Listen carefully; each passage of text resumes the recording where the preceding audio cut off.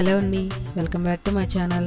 ఈరోజు వీడియోలో అమ్మవారికి ఎనిమిదవ రోజు నైవేద్యంగా పెట్టుకునే కదంబం రెసిపీ ఎలా చేయాలో చూద్దాము.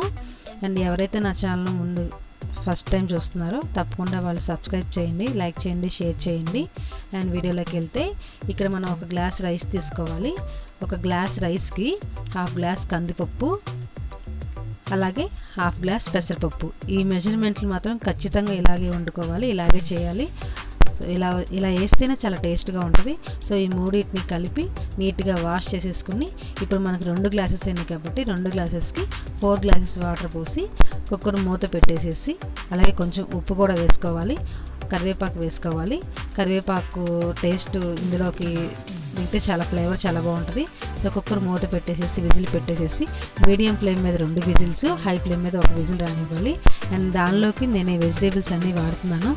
టమాటా క్యారెట్ బంగాళదుంప సొరకాయ వంకాయ చిక్కుడుకాయలు పచ్చిమిర్చి వాళ్ళని ఉల్లిపాయ మాత్రం వాడకూడదు. సో దానికోసం నేను ఇప్పుడు కొంచెం ఒక గిన్నె పెట్టుకుని ఆయిల్ వేసుకుని ఆవాలు జీలకర్ర మిర్చి వేసుకున్నాను కరివేపాకు వేసుకున్నాను. ఈ వెజిటేబుల్స్ ఏవైతే ఉన్నాయో అవన్నీ ఆయిల్లో వేసేసేయాలి. ఆయిల్లో బాగా మగ్గాలన్నమాట. సో ఈ ముక్కలకి ముందు ఆయిల్ పట్టించాలి. ఆయిల్ పట్టిస్తే ఈ మొక్కలు ఏమైనా వాటర్ కంటి వాటర్ ఉంటే వాటర్ మొత్తం బయటకు వచ్చేస్తుంది. సో దానికోసం కొంచెం ఇప్పుడు ఉప్పు వేసుకోవాలి రుచికి సరిపడా.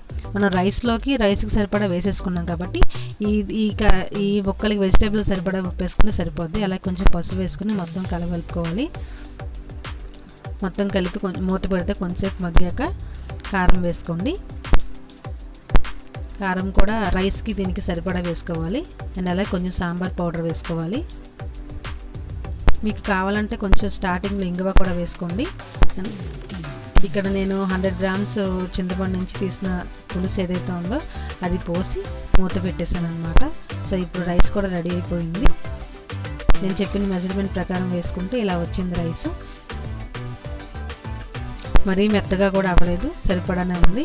సో ఇప్పుడు మూత తీసి చూద్దాము. జాగ్రత్త ఆవిరి కొడుతుంది. సో ఇలా ఉడుకుతూ ఉండగా మనం ఇప్పుడు ఏం చేయాలంటే రైస్ ఇందులో కలుపుకోవాలి. అంటే మనకు కావాల్సిన పులుసు కన్సిస్టెన్సీ వచ్చాక మాత్రమే వేసుకోవాలి రైస్ అనేది ఇందులోకి.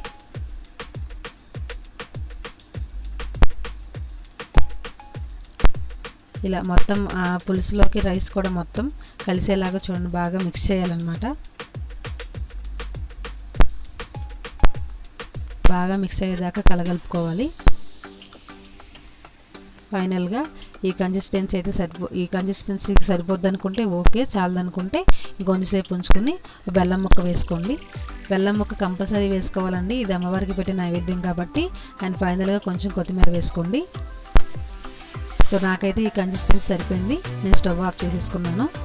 నా వీడియో కనుక మీకు నచ్చినట్లయితే లైక్ చేయండి షేర్ చేయండి. తప్పకుండా సబ్స్క్రైబ్ చేయడం మాత్రం మర్చిపోవద్దండి. అలాగే కొత్తిమీరతో గార్నిష్ కూడా చేసేసుకున్నాను. టేస్ట్ అయితే సూపర్ ఉందనమాట సాంబార్ రైస్ మించిపోయింది. సో మీరు కూడా ట్రై చేసేసేయండి ఎలా ఉంటుందో అలా ఎలా ఉంటుందో కామెంట్ సెక్షన్ మెన్షన్ చేయండి. లైట్గా గీ కూడా వేసుకోండి లాస్ట్లో